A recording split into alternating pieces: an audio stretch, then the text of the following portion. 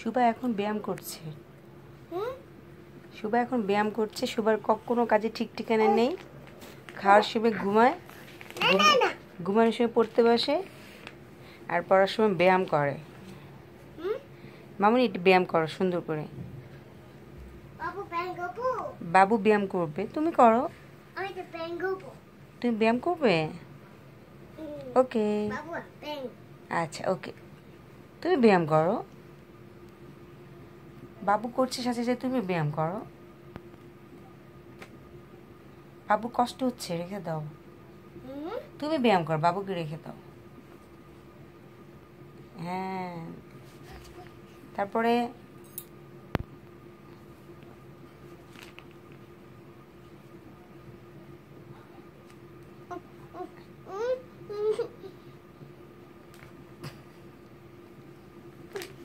বাঁচাও।